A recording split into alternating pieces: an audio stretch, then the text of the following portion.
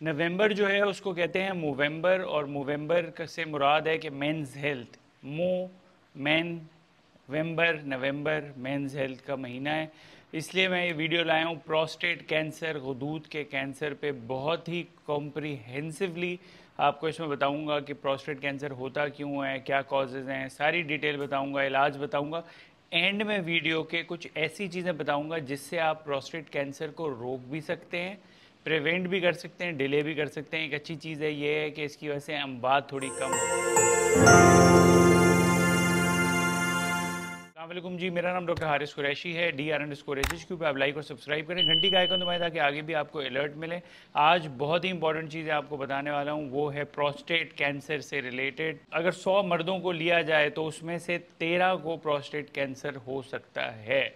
और अगर देखा जाए कि 80 साल की उम्र में तकरीबन 80 परसेंट लोगों को प्रोस्टेट कैंसर हो सकता है। किसी भी मर्द को हो सकता है और इसका ख़ास ख्याल रखना ज़रूरी है। मर्दों की सेहत भी ज़रूरी है। बहुत ही निगलेक्टेड टॉपिक है। किसी भी मर्दों से रिलेटेड सेहत पे बात करते हैं तो लोग थोड़ा नाराज़ हो जाते हैं, लेकिन ये चीज़ बतानी बहुत ज़रूरी है। प्रोस्टेट कैंसर जो है वो प्रोस्टेट से अराइज करता है प्रोस्टेट जो है गदूद कहलाता है। ये जो है थोड़ा स्लो ग्रोइंग ट्यूमर है। ऊपर जो है इसके मसाना होता है, जहाँ पे पेशाब आपका स्टोर होता है। नीचे इसके पेशाब की नाली होती है। बीच में से इसके एक यूरिथ्रा जा रहा होता है, जो कि पेशाब की नाली का कंटिन्यूएशन है, जहाँ से हम पेशाब करते हैं। जैसे ही प्रोस्टेट बढ़ता है, इसको रोकना शुरू कर देता है। दो किस्म की ग्रोथ होती है, एक बीपीएच होती है, वो नॉर्मल होती है। हर मर्द को बीपीएच होगा, लेकिन प्रोस्टेट कैंसर उनमें से चंद एक लोगों को होगा। अखरोट के साइज़ का ये होता है, इसका काम ये है कि ये न्यूट्रिशन सप्लाई करता है फ्लूड देता है, हमारी सेमन को जो मर्दों का आज़ा में से निकलता है चीज़, उसको जो है ये नरिशमेंट देता है। स्पर्म्स को नरिशमेंट देता है। देखा जाए कि 90 परसेंट जो है ये एडेनो कार्सिनोमा होता है। एडेनो कार्सिनोमा उस ट्यूमर को बोलते हैं जो ग्लैंड से निकल के आ रहा हो और जो कम टाइप्स हैं उसमें जो है स्मॉल सेल कार्सिनोमा है ट्रांजिशनल सेल कार्सिनोमा है टीसीसी जिसे बोलते हैं सार्कोमाज हैं न्यूरो एंडोक्राइन ट्यूमर्स भी होते हैं। इसके अगर रिस्क फैक्टर्स को देखें, उम्र जो है वो बड़ा रिस्क फैक्टर है। जैसे जैसे आपकी उम्र बढ़ती है, आपके प्रोस्टेट कैंसर होने के चांसेस भी बढ़ना शुरू हो जाते हैं। लोगों ने तो ये भी बोला है कि पैंसठ की उम्र में साठ चांस है कि आपको प्रोस्टेट कैंसर हो सकते हैं, इतना कॉमन है। रेस एथिनिसिटी इंपॉर्टेंट है डार्क और अफ्रीकन जो हैं, उनके अंदर ये ज़्यादा पाया जाता है। फैमिली हिस्ट्री बहुत इंपॉर्टेंट है। अगर आपके खानदान में किसी को होता है तो आपको होने के भी चांसेस है। अगर किसी को ब्रेस्ट कैंसर की हिस्ट्री है या लंच सिंड्रोम एक होता है, उसकी हिस्ट्री है तो उनमें भी ये होने के चांसेस जेनेटिक्स भी बहुत इंपॉर्टेंट रोल अदा कर रहा है। और जैसे कि सारे ट्यूमर्स में कैंसर्स में होता है स्मोकिंग सिगरेट नोशी बहुत ही ख़तरनाक है आपके लिए। मोटापा एक समझा जाता है, इसका रिस्क फैक्टर अगर आपको इन्फ्लेमेशन हो रही है, सोजिश हो रही है प्रोस्टेटाइटिस होता जा रहा है तो ये भी आगे जाके प्रोस्टेट कैंसर में कन्वर्ट हो सकता है। कुछ लोग कहते हैं कि जो सेक्सुअली ट्रांसमिटेड डिज़ीज़ हैं, वो अगर आप क्योर ना करें और बहुत हो आपको तो उससे भी हो सकता है। और एक है एजेंट ऑरेंज एजेंट ऑरेंज जो है एक जब वियतनाम की जंग हो रही थी अमेरिका से, उसमें ये चीज़ें फेंकी गई थी वियतनाम के लोगों के ऊपर तो वो भी प्रोस्टेट कैंसर कराती है। तो इससे पता चला कि जो केमिकल्स हैं, ये भी वहाँ तक पहुँच जाते हैं और आपको प्रोस्टेट कैंसर कराते हैं। अगर पूछा जाए इसके सिम्टम्स क्या हैं कि आपको पता कैसे चलेगा आपको प्रोस्टेट कैंसर हो रहा है तो शायद आपको कुछ भी पता ना लगे क्यों आप बिल्कुल नॉर्मल हों। और इसके अलावा ये हो सकता है कि आपको वक्फे वक्फे से पेशाब आए लोअर यूनिटी ट्रैक सिम्टम्स जिसे बोलते हैं, रात को उठ के जाना पड़े।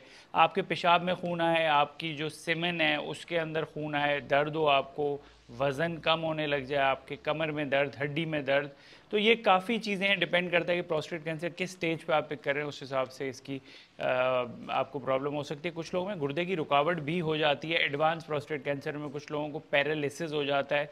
उनका जो नीचे का धड़ है वो बिल्कुल सुन हो जाता है क्योंकि वो कैंसर हड्डियों से जाके नर्व्स को कंप्रेस कर देता है। तो ये अगर आप जिस हर बीमारी की तरह जल्दी इसको तशखीस नहीं करेंगे इलाज नहीं करेंगे तो ये रोकने में मसला होता है और अगर इसको आप सही टाइम पे पिक कर लें तो इसकी क्योर भी है और अच्छा भी स्क्रीनिंग्स बाहर के मुल्क में होती हैं और वो कहते हैं कि जी 50 या 55 साल की उम्र में फिर हम उनका टेस्ट कराते हैं कुछ और स्क्रीन करते हैं और 70 साल की उम्र में स्क्रीनिंग को बंद कर देते हैं।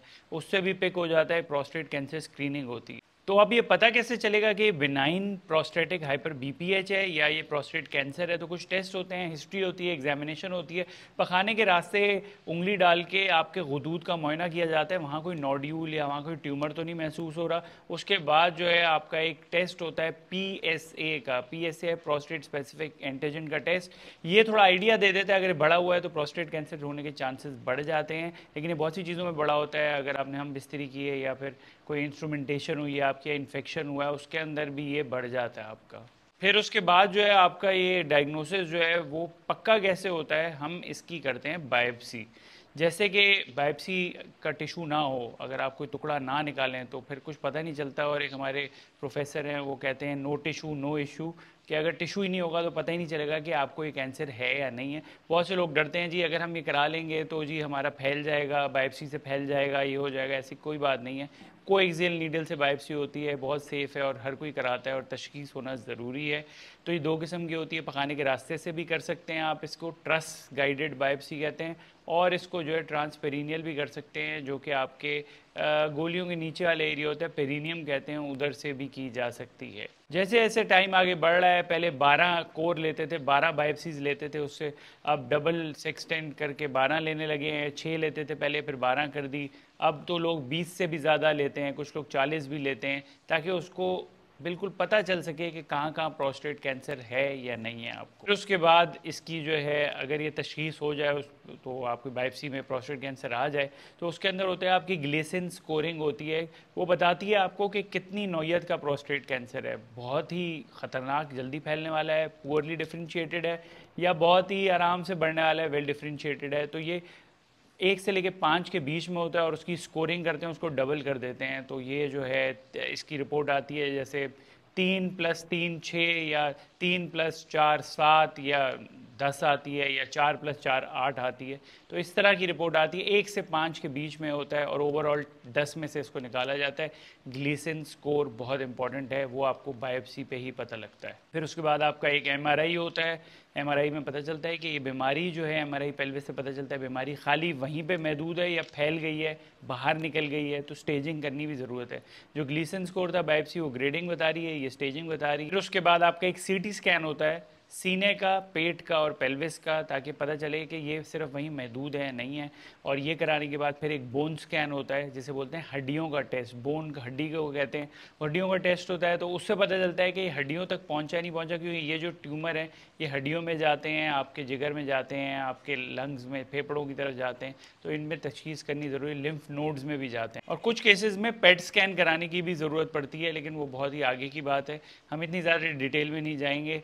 लेकिन ये ओवरऑल आपकी तशखीस होती है प्रोस्टेट कैंसर की और जब ये हो जाता है, फिर इसका इलाज करना होता है। इलाज में बहुत सी चीज़ें इसके। अगर आपकी बीमारी बहुत ही स्लो है, बढ़ने वाली, इतनी ज़्यादा वो नहीं है, जिस तरह मैंने आपको बताया था कि ग्लेसन स्कोर पे तीन प्लस तीन आ रहा है, जो आपने बारह उसकी बाइप्सी ली, उसमें से एक या दो में आ रहा है या तीन में आ रहा है, ज़्यादा में नहीं आ रहा। तो फिर आप एक्टिव सर्वेलेंस भी कर सकते हैं वॉचफुल वेटिंग भी कर सकते हैं। एक्टिव सर्वेलेंस में ये करते हैं कि हम उस वक्त उस बीमारी का इलाज नहीं करते। हम इंतज़ार करते हैं कि बीमारी थोड़ी एग्रेसिव हो या बढ़े तो हम इसका इलाज करें। क्योंकि अगर अभी इसका इलाज किया तो ओवर ट्रीटमेंट हो जाएगा। शायद जो आप अच्छी ज़िंदगी गुजारें वो ना गुजार सकें इतने अरसे। और बीमारी ने बढ़ना ही नहीं है इतना। तो इसलिए उसको हम छः महीने, साल पे एक बायोप्सी करके देखते हैं स्कैन करा के देखते हैं पीएसए करा के देखते हैं, ताकि उस पर नज़र रखते हैं सर्विलेंस रखते हैं उसके ऊपर कि ये बढ़ या नहीं बढ़ी, वो बढ़ने लगती है तो फिर कुछ इलाज किया जाता है। एक और चीज़ होती है सी आई एस कार्सिनोमाइन सी टू बहुत से लोगों की बायोप्सी में आता है, वो भी एग्रेसिव डिज़ीज़ होती है, उसको भी इसी तरह से देखा जाता है। एक चीज़ मैं आपको साथ में बताना चाहूँगा कि इसका इलाज जो है मल्टी मोडेलिटी ऐसा नहीं है कि एक ही बंदा देखेगा और इलाज कर देगा, इसमें यूरोलॉजिस्ट भी देखेगा जो सर्जन होता है रेडिएशन ऑनकोलॉजिस्ट देखेगा जो शुआएँ से इलाज करते हैं रेडिएशन से करते हैं और ऑनकोलॉजिस्ट भी देखता है जो दवाइयों से कीमोथेरेपी से इलाज करता है। तो ये सब मिल के इसको देखते हैं।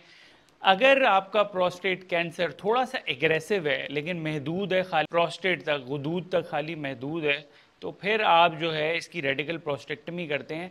आप इस प्रोस्टेट को बाहर निकाल देते हैं कि इस बीमारी ही ख़त्म कर दी जाए। सुनने में तो बहुत सिंपल था, ये बड़ा ही कॉम्प्लेक्स प्रोसीजर है। ये ओपन भी होता है रोबोटिक भी होता है लेप्रोस्कोपी भी होता है। और इसके कुछ साइड इफ़ेक्ट्स हैं, जैसे हर सर्जरी होते हैं, इसमें आपकी मर्दाना कुवत ख़त्म हो सकती है, बच्चा पैदा करने की कुवत ख़त्म हो सकती है, और आपका पेशाब टपकता रहेगा छः महीने सो, दो, डेढ़ साल, दो साल। उसके लिए फिर आपको फिजियोथेरेपी करनी पड़ती है पैम्पर पहनना पड़ता है सर्जरी के बाद, लेकिन आपकी बीमारी पूरी बाहर निकल आती है। और फॉलोअप में इसको पीएसए के साथ देखते हैं, आपका पीएसए कितना रह रहा है। पेशेंट्स में जो ये ऑपरेशन नहीं कराना चाह रहे, फिर हम उनको ब्रेकी थेरेपी जो रेडिएशन की एक टाइप है, और रेडिएशन जो है वो देते हैं। तो दो किस्म की रेडिएशन है। ब्रेकी थेरेपी होती है कि हम कुछ सीड्स होती हैं, बीज होते हैं, वो आपके प्रोस्टेट के अंदर डाल देते हैं और वो जो है वहाँ से शुआएँ मार के इस कैंसर को ख़त्म करते रहते हैं। दूसरा होती है जो बाहर से हम नॉर्मल रेडिएशन करते हैं एक्सटर्नल बीम रेडिएशन कहते हैं उसको तो वो भी की जा सकती है। इन ट्यूमर सेल्स को जलाया जा सकता है। इसके साइड इफ़ेक्ट्स में भी पेशाब की तकलीफ़ें हो सकती हैं स्ट्रक्चर बन सकता है, मसाना आपका छोटा हो सकता है, पखाने से खून आ सकता है, क्योंकि रेडिएशन जो है ये पूरे आगे पीछे जाती है। तो ये आपकी काफ़ी प्रॉब्लम्स करती है। कॉम्प्लिकेशंस हर चीज़ में है आपको फैसला करना होता है, बीमारी को देख के डॉक्टर्स से डिस्कस करके फैसला आपको करना होता है, आपने क्या इलाज कराना उसके बाद कुछ सिस्टमिक थेरेपीज़ होती हैं, अगर ये प्रोस्टेट की बीमारी आपकी बाहर निकल गई है तो फिर जो है आपको उन कैंसर सेल्स को भी जलाना है, रोकना है तो आप दो तीन चीज़ें कर सकते हैं, आप कैस्ट्रेट कर सकते हैं और कैस्ट्रेशन में मेडिकल कैस्ट्रेशन एक इंजेक्शन आता है हार्मोनल थेरेपी भी कहते हैं उसको, वो आपके पेट में लगाते हैं, हर महीने डेपो उसका लगता है, पेट में इंजेक्शन लगता है, या तीन महीने का भी आ रहा है छः महीने का भी आ रहा है, महँगा होता है, तकरीबन पंद्रह बीस हज़ार रुपये पर महीना खर्चा आता है इसके ऊपर, उससे आपके जितने भी हारमोन्स हैं उनको कम कर दिया जाता है। दूसरा इसका इलाज होता है बी एस ओ बायोलेटरल सब कैप्सुलो ऑर्किडेक्टमी उसमें करते हैं कि आपके जो गोलियाँ हैं, उसके अंदर का जो मादा है, उसको निकाल दिया जाता है और आपके हॉर्मोन्स को उससे कम कर दिया जाता है। ये परमानेंट सोल्यूशन होता है और पैसे भी इसमें इतने खर्च नहीं होते। ये सब क्यों किया जा रहा है? टेस्टोस्टेरॉन जो मर्दाना हार्मोन है, उसको कंट्रोल करने में, क्योंकि जो प्रोस्टेट कैंसर है सारा इससे रिलेटेड हार्मोन से रिलेटेड है। तो अगर आप टेस्टोस्टेरॉन को रोक देंगे तो ये आपका हार्मोन जो है कम होगा तो आपके जो है ग्रोथ भी कैंसर की कम हो जाएगी। जिनमें ये चीज़ें काम नहीं करती, फिर उसके बाद कीमोथेरेपी है, फिर उसके बाद इम्यूनोथेरेपी है टारगेटेड सेल थेरेपी है, बहुत सी चीज़ें हैं की जा सकती हैं आगे सेकंड लाइन थर्ड लाइन के अंदर। तो में फोकल थेरेपी भी की जाती है, इनके छोटे प्रोस्टेट होते हैं। उनमें जो है हाइफू होता है, एक चीज़ के आपके कैंसर को जला दे। क्रायोथेरेपी होती है, उसमें भी जो आपके कैंसर के सेल्स हैं, उनको फ्रीज कर दिया जाता है और मार दिया जाता है। लेजर एबिलेशन होती है, उससे भी आपके कैंसर सेल्स को मारा जा सकता है। फोटोडाइनमिक थेरेपी होती है, इससे भी रेडिएशन से आपके जो है कैंसर सेल्स को मारा जाता है। लाइट की वेवलेंथ से कैंसर सेल्स को मारा जा सकता है। ये डिपेंड करता है आपकी बीमारी क्या है, कैसी है और कैसे इसको कंट्रोल करना है। और मेनली जो आपका फॉलोअप है, वो इन्हीं चीज़ों पे ही होता है। नज़र रखते हैं हम आपके प्रोस्टेट के जो पी का टेस्ट है, खून का उस पर और आपके कुछ स्कैंस करा के इस पर नज़र रखते हैं। ये जो इतनी भी मोडेलिटीज़ हैं, इनसे आपका जो ये पी का लेवल है, ये ज़ीरो या ज़ीरो हो जाना चाहिए। अगर ये बाद में बढ़ने लगता है तो फिर और ये थेरेपीज़ देनी, दी जा सकती हैं हार्मोनल थेरेपी दी जा सकती है। एंड्रोजन डिप्रीवेशन थेरेपी होती है एडीटी एक दवाई होती है, वो दी जा सकती है। इस तरह से बहुत सी चीज़ें आपको दी जा सकती हैं आगे भी।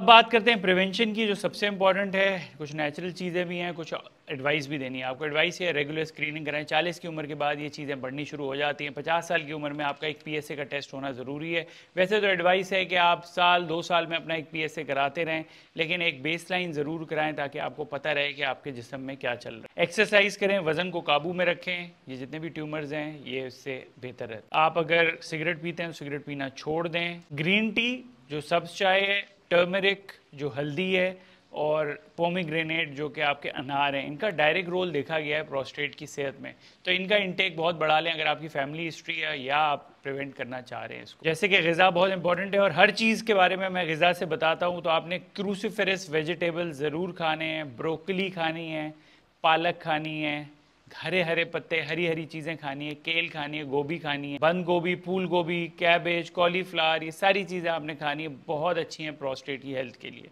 गार्लिक और अनियन जो है, वो बहुत इंपॉर्टेंट है। लहसन और प्याज के ऊपर मैंने सेपरेट वीडियोस भी बनाई, वो भी आप देख सकते हैं, लेकिन इसका बहुत अच्छा रोल है आपकी कैंसर प्रिवेंशन में। टमाटर बहुत इंपॉर्टेंट है, और टमाटर के अंदर होता है लाइकोपिन और इसको भी मैंने बहुत सी वीडियोस बनाई है। लाइकोपिन आपकी कैंसर की ग्रोथ को भी रोकता है, और इसको जो है, आप थोड़ा सा कुक करके खाएँ। अगर थोड़ा सा गर्म करके बना के खाएँ तो बहुत ही अच्छा होता है। कुछ लोग इसकी सॉस और इसकी ग्रेवी बना के खाते हैं, वो भी बहुत प्लांट बेस्ड ट्रेस फैट्स बड़े इंपॉर्टेंट है omega three fatty acids chia seeds flax seeds pumpkin seeds कद्दू के बीज, बहुत इंपॉर्टेंट आखिरी चीज़, मछली भी इसमें बहुत इंपॉर्टेंट है। आज मैंने आपको प्रोस्टेट कैंसर के बारे में पूरी डिटेल बताई है, बड़ी कॉम्प्रीहेंसिव वीडियो है, थोड़ी लंबी हो गई है, लेकिन एक एक चीज़ आपको डिटेल में बताइए कि नवंबर मेंस हेल्थ है, मर्दों की सेहत बहुत इंपॉर्टेंट है, और निगलेक्टेड है बहुत, मर्द अपनी सेहत का बिल्कुल ख्याल नहीं रखते। और भी आपका कोई सवाल इससे रिलेटेड आप D R underscore H H को मुझसे पूछ सकते हैं। लाइक सब्सक्राइब करें, घंटी का आइकन दबाएँ। एक और मैंने वीडियो चैनल बनाया है यूट्यूब पे D R H H Q vlogs उसको भी लाइक और सब्सक्राइब करें ताकि आगे भी आपको अच्छी इन्फॉर्मेशन डॉक्टर्स के बारे में पता चलती रहे। अपना ख़ास ख्याल रखें, शुक्रिया।